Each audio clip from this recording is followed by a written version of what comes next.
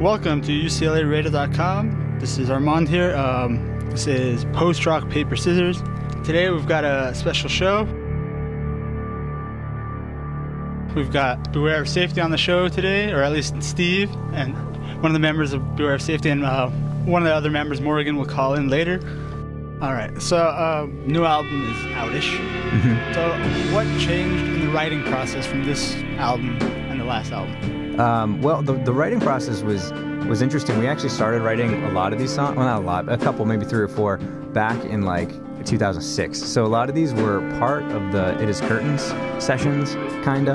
Um, so it was. It's really interesting to see the progression of the songs on Dogs go from the, the 2006 sessions to the 2008 sessions. Like Nu Metal. Yeah. mhm. I'm guessing it's from the Absolutely, absolutely, yeah.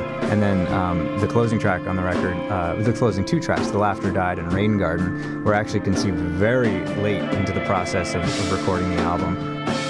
Morgan, I hear you came up with, I guess, the gist of uh, Rain Garden. I think the initial initial seeds of Raingarden uh, were planted back in, uh, gosh, I want to say like 2003 almost. I don't even know if we were.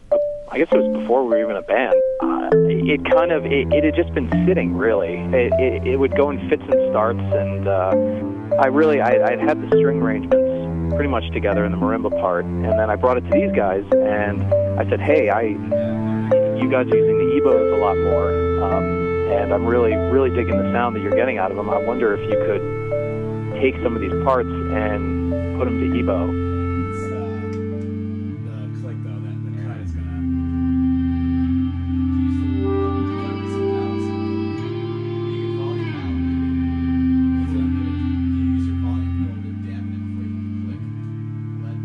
Still gonna do it because what the problem is, is that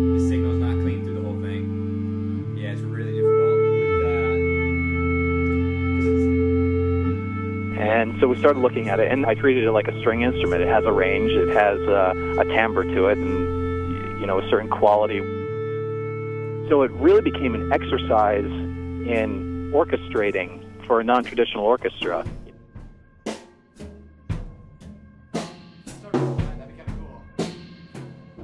Somebody will come up with an idea and say, "Hey, look, check this out," and we'll we'll sort of play around with it. Um, and if something doesn't happen immediately, we might shelf it for later or nix it entirely. And a lot of these riffs were sort of by accident. I think you know Hexa and Circa, for example. I came up with the the principal parts, uh, the A part of Hexa, and then the Circa part, and I tried to put them together in one track, and it just didn't work.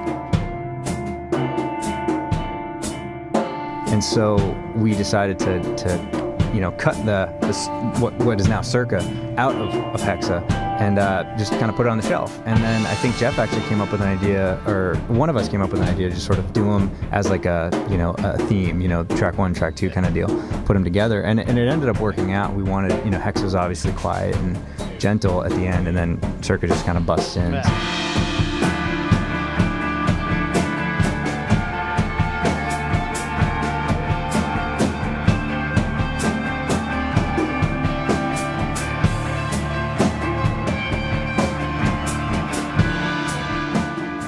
mean, I think the other the other thing that that I think really played in was just that I started picking up keys.